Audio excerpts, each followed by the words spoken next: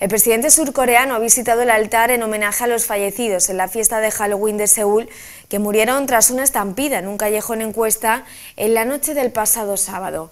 Un suceso que ha conmocionado a todo el país y por el que el gobierno ha declarado luto oficial hasta el próximo sábado. El presidente de Corea del Sur, Yoon Suk-yeol, ha visitado este lunes junto a la primera dama Kim Keun-hee el altar en homenaje a las víctimas de la fiesta de Halloween de Seúl, que dejó 154 víctimas mortales como consecuencia de una estampida desarrollada en un estrecho callejón en Cuesta en la noche del sábado.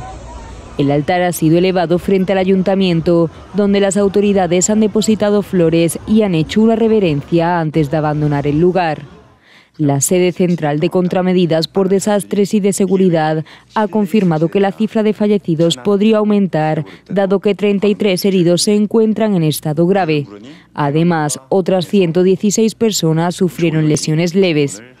El gobierno surcoreano ha declarado luto oficial hasta el próximo sábado por un suceso que ha conmocionado al país. La estampida supone la peor tragedia en Corea del Sur desde el hundimiento del ferry Sewol en la costa meridional del país, que se saldó con 304 fallecidos.